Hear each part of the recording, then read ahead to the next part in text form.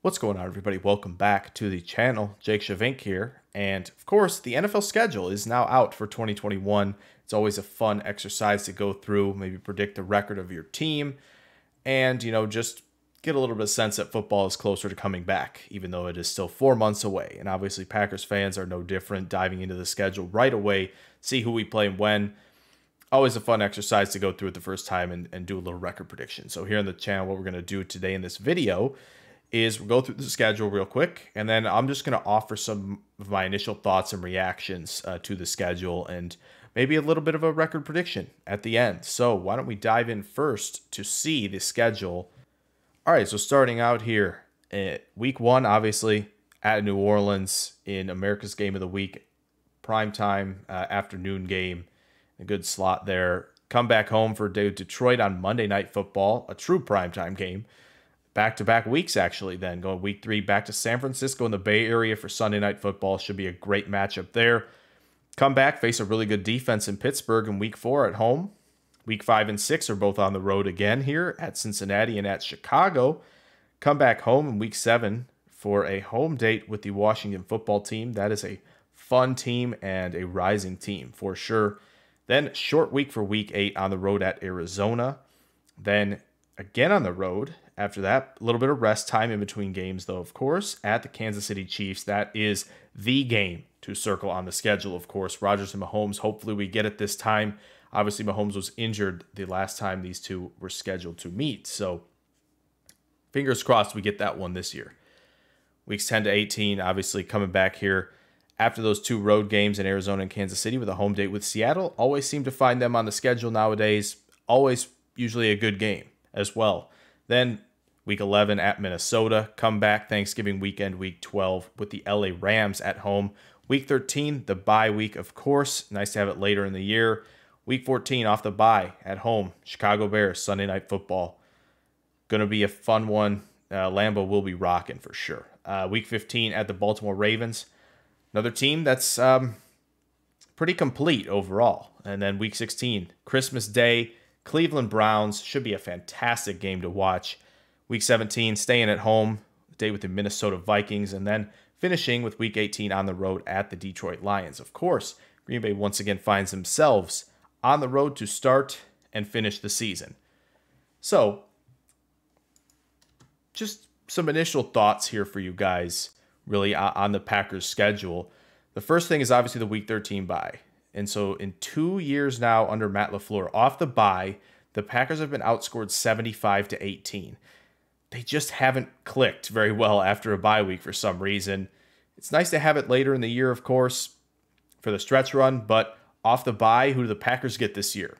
The Chicago Bears on Sunday Night Football. Let's hope that that trend does not continue against the Chicago Bears and new quarterback Justin Fields, who I assume will be starting by that point in the season, if not months earlier. So that's something to watch, obviously, with that late bye week. Will the Packers thrive off that late bye week for the stretch run. I think finishing really not a game that the Packers can't win uh, after that bye week, really. So I think it's a good spot to be in for a stretch run for a contending football team.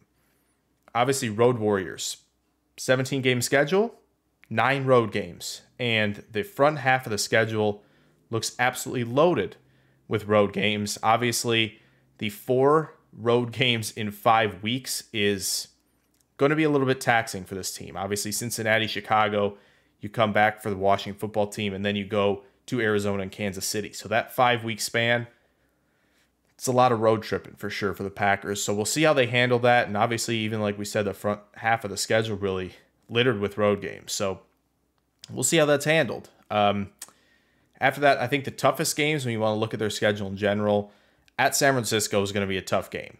I know the Packers seem to get the monkey off the back last year. But really, that Niners team, a lot of injuries, just really was a shell of themselves at that point in the season. It was nice to see Green Bay go get a win there, but this time they'll be back with full force, and, and that's a team to be reckoned with, no doubt. So I expect the Niners to give their best punch in that game. So at the Ravens is another game I think will be tough for them just because Again, Lamar Jackson's a dynamic player. I think the roster's really complete. They added weapons on the outside who can make a difference. that defense really doesn't have a lot of major holes. They're going to get pressure and they're going to defend the pass well with that secondary. So, just a complete team that will not be easy uh, for Green Bay on the road. The LA Rams. It's a different team with with Matt Stafford at the helm. Obviously, the one thing the Packers will need to do really to win that game is create pressure. And the Rams, interestingly enough, did not address offensive line in the offseason or the draft. They're betting on in-house development from their guys. So that's something hopefully Packers can take advantage of that with hopefully, you know, Rashan Gary, Kenny Clark, all those guys. Hopefully Gary takes a step. And we'll see at that point. That will be a tough game. It's a different team with Matt Stafford at the helm. There's no doubt about it. It's not Jared Goff anymore. At Kansas City, of course, how do you handle Hill, Kelce, and all these guys with Mahomes running the show this time? We're going to find out. That offensive line is fantastic. They've reloaded that extremely well. That is probably the game that you feel like really the Packers will struggle the most with. And then I think the Cleveland Browns is the other game that I circled that I think is going to be a tough game, truthfully. Just again, another team that's really complete. Their back seven is outstanding. And Stefanski's done a great job with that offense. Uh, there's a lot of dimensions to it, so we'll see how the Packers defense fares. So those are my five toughest games, and then again, the theme with this I think is tough defenses. Truly, Packers offense is going to be tested this year, no matter who's under center. Pittsburgh, Cleveland, San Francisco, the Rams, Minnesota's a little bit revamped. Obviously, the Washington football team's got a great front seven. So there's a lot of good defenses the Packers face this year. Again, like we even mentioned, the Baltimore Ravens, maybe not elite, but there really aren't that many holes on that defense. So Packers are going to face a lot of good defense this year. It's going to be a great litmus test all season long for them. And then I think the toughest stretch, if we're talking really on the schedule where it is, I think it's the last six weeks before the bye week, truthfully. I, I really think Washington at Arizona, at Kansas City, Seattle, at Minnesota, and then the Rams at home those six games before the bye week is a stretch run that will be the biggest test for them, truthfully, on the schedule. A good defense in Washington, who's got a lot of vertical threats. Arizona, dynamic offense, dynamic playmaker at quarterback. They've added some help in the receiving area. So with AJ Green, Rondale Moore. Zaven Collins, they've added that defense. It's versatile. They got a lot of playmakers there. Be an interesting game on a short week. Then they go to Kansas City. Of course, like we mentioned before, that'll be a tough game. Seattle is never an easy out for the Packers. It's always a good game, except for that one time Russell Wilson threw like five or six picks. Other than that, always been good games. So never count Seattle out. They're going to have three threats at wide receiver that will stress defenses to its limit. Minnesota, I expect to be better, truthfully. I, I just expect them to be a lot better this year. Last year was a down year for them. They really haven't been that bad under Zimmer before. So I expect a bounce back year from them. And of course, the Rams, a team that maybe might be the NFC favorites outside of Tampa Bay. So those six games, I think, will be the toughest stretch. We'll know a lot about the Packers heading into that Week 13 bye week. So, finally, little record predictions, of course, have to do it. Just my initial thoughts. I think, obviously, a lot depends, especially at the quarterback position. Will Rodgers be there? Will it be Jordan Love? I think with Rodgers, my just initial thought, just perusing the schedule, I said 12 and 5.